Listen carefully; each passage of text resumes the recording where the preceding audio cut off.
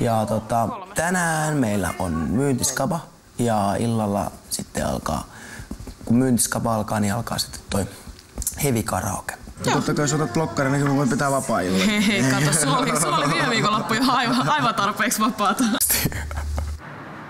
Heavy Karaoke, nyt myös Cafe Punavuoressa. Tästä reippasta yhdeksästä mennään tonne puoleen kahteen saakka. Lappu tänne ja mä sitten huutelen täältä esiintyviä taiteilijoita laulamaan. Meillä on siinä eturivissä ainakin heti yksi innokas nuori mies. Markus, tänne vaan.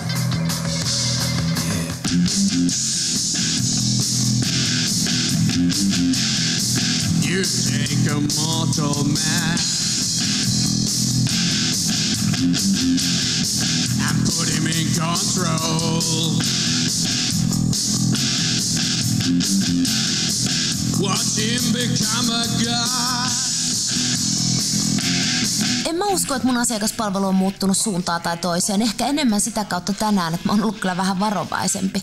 Että kun mulla on semmoinen pohjoiskarjalainen taipumus, siellä mä oon kuitenkin syntynyt, vaikka mä oon aina asunutkin. Että mä vaan niinku äh, läpättelen. Se on mulle aika helppoa. Niin mä yritän vähän välttää sitä. Että mä otan jopa vähän varovaisemmin, kun se on ehkä vähän tarkempi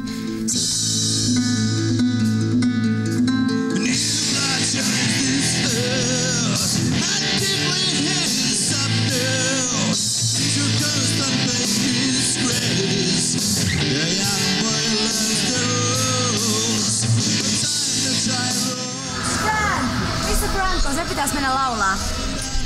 No mikä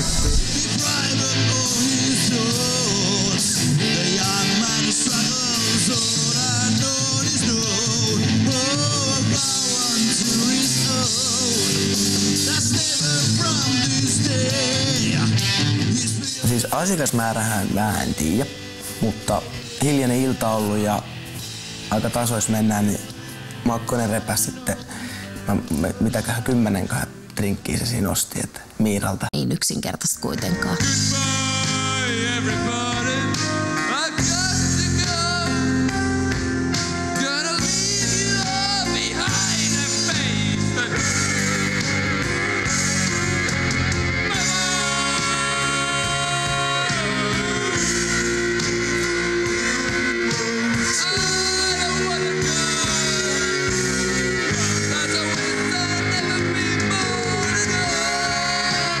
Ollaan Frankin kanssa kauhean erilaisia. Meillä on hirmu eri tapa tehdä.